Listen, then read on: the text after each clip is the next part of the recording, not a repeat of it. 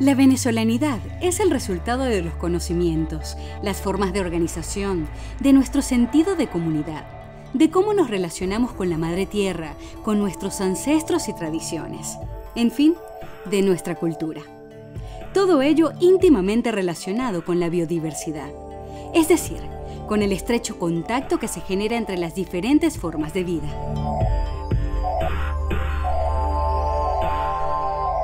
Conscientes de esta realidad, en Río Verde no solo fomentamos la protección de fauna y flora, sino también de nuestra identidad cultural. Muestra de ello es la participación de Río Verde en la celebración del Día de San Juan Bautista en la costa central de Venezuela, específicamente en la zona de Naiguatá.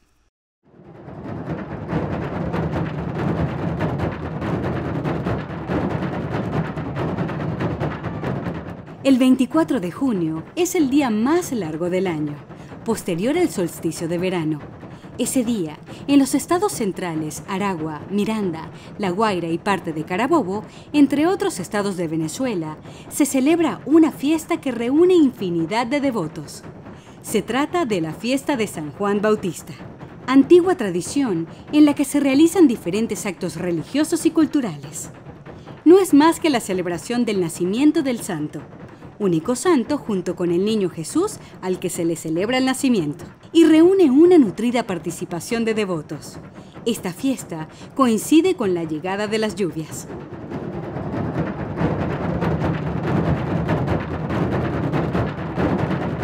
En Naiguatá, esta tradición tiene la particularidad que se celebra a San Juan Bautista Niño. Todo empieza muy temprano en la mañana del 23.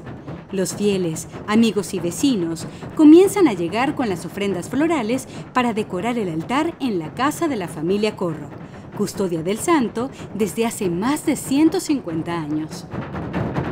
Mientras tanto, en otras calles del pueblo, los tamboreros empiezan a poner a punto sus instrumentos. La mañana del 24, muy temprano, el santo es llevado a la iglesia donde se le oficia una solemne misa. Este es el Cordero de Dios que quita el pecado del mundo.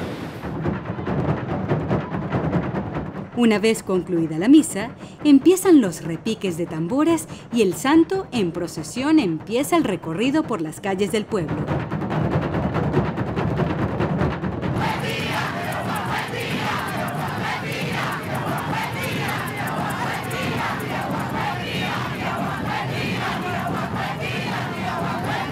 Donde es colocado en un altar con las ofrendas para que los creyentes puedan adorarlo y pedirle o agradecerle los favores recibidos.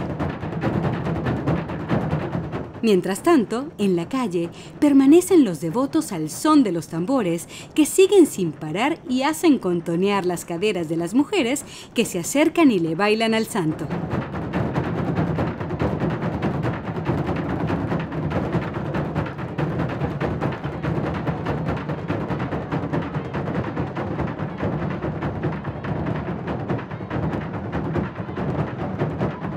Así, al ritmo de tambores, bebidas y bailes, continúa la fiesta en homenaje a San Juan Bautista. Porque conocer es proteger.